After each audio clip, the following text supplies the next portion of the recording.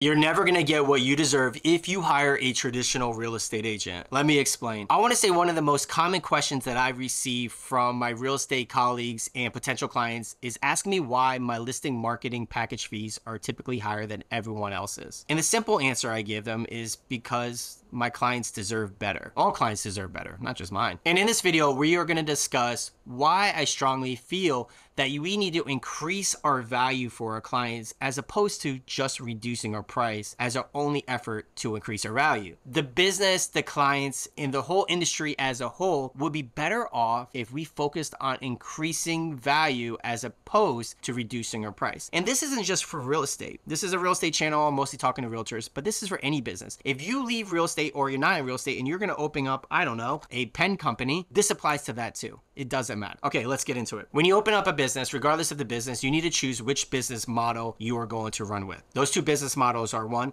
a price based business model, or two, a value based business model. A price based business model is essentially a race to the bottom in prices, meaning that you are conveying your value in terms of your reduction of price. And when you're doing that, you keep on competing on a lower and lower price, hoping that you get hired because you are the cheapest. Now, a value based business model is the opposite. You're increasing the value of your product to your service, and in turn, you don't have to reduce your prices to accommodate because the value came elsewhere. Something tangible is something that a lot of people crave. Now let's talk price-based business model for a second. If you're in a price-based business model, what's going to happen is you are competing in prices, right? So if you have multiple real estate agents and they're all from the eyes of the consumer relatively the same, we're a commodity, the cheapest guy or cheapest girl is going to be the biggest value add. There's no benefit being the second cheapest. You have to be the cheapest. And if you're the cheapest at doing something, you have to do a lot more of that thing to keep the lights on. You're barely getting by, you're burnt out. Also, when you're the cheapest, you, since you have to have so much more business to keep the lights on and keep going and barely afloat, you're going to make decisions that may not be in the best interest of your clients. Why? Because each deal is huge to you. It's a good portion of your income. And you might be making decisions that's getting another deal done. You also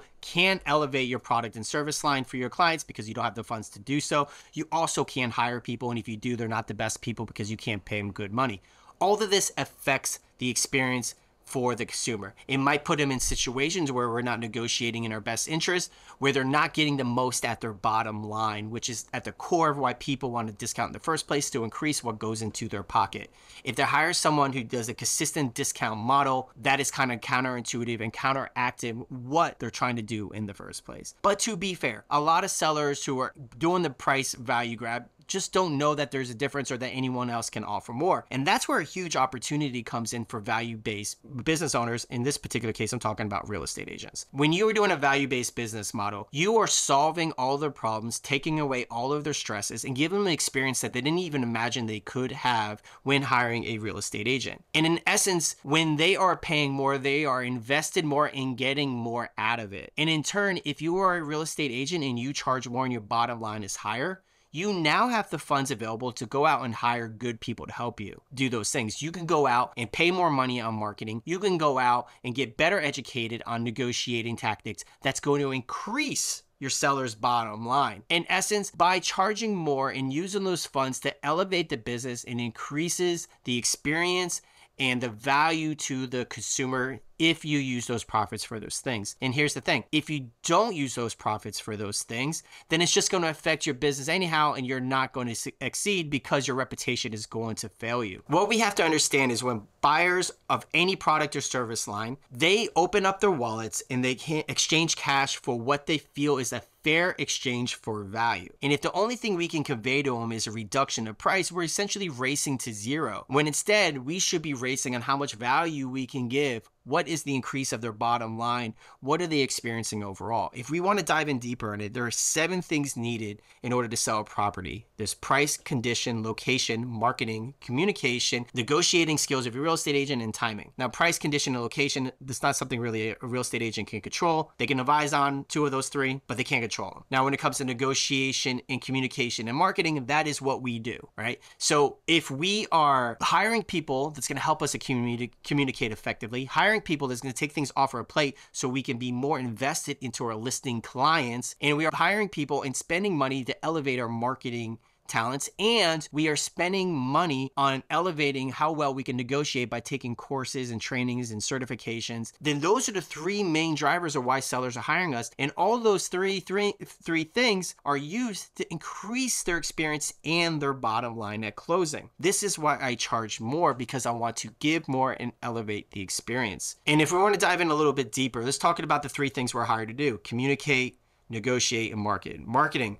We have a guarantee on the Homes by Cusi team here in Southeast Florida, by the way, sending referrals or call us if you need us, that no one will outmarket us. What do I mean by that? If we have a house on the market and there's a competing house that's listed down the street, we guarantee that no one is going to outmarket us, including the competitors' listings. And if they do, then we will sell your house for free. If You want more details on that? Reach out to me. I'd love to talk to you about that. The second thing is communication. We have what's called a feedback frenzy guarantee, meaning we will give you $500 off for every time we mess this up. Mess what up? We we are offering or actually guaranteeing you that we will communicate feedback from your listing twice a week, whether that's email, video, phone call, or text. And we're going to say, this is what's happening in your listing. This is what our competitors are doing. This is what went under contract this is what it looks like on the back end, on all the websites. This is all the things that we're doing to move the needle. And we provide that twice a week. Why? Because knowledge is power and the market's always changing. It doesn't make sense to not be aware what's happening when people are paying us so much money to be aware what's happening and sell their property. So we offer that guarantee to you. If we'll take off $500 off your closing costs for each time we do not provide you with feedback and we promise you we do it twice a week. That's our guarantee. And the other one is negotiating. Now if you are just reducing your price and you're spinning your wheels and you're trying to figure things out on your business you're getting burnt out and that's your business model well one it just tells that you don't have a good product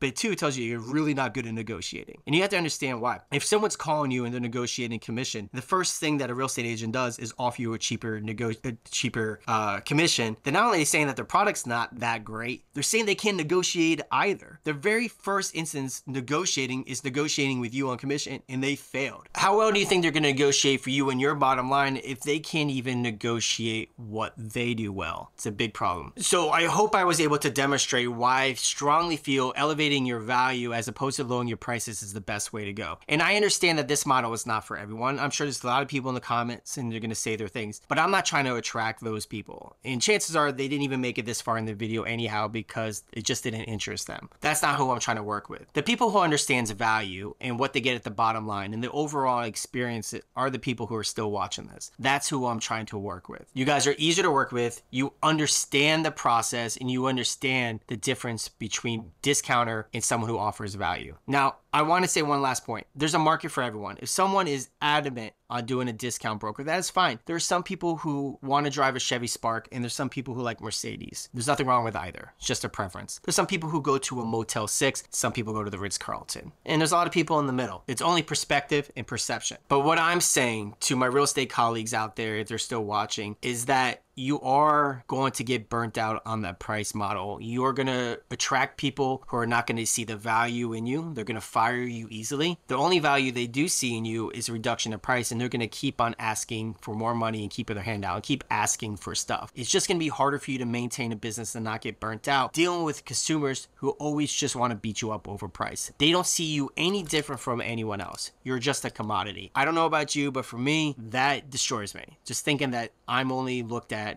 as a commodity and not something of extreme value. I wanted to build my business and provide levels of service experiences for my clients that they simply can't get anywhere else. That would make me a product of one with no competition. And the people who can't see that or the people who don't recognize that, that's okay. They don't have to hire me. This is for the people who do recognize that and do see that.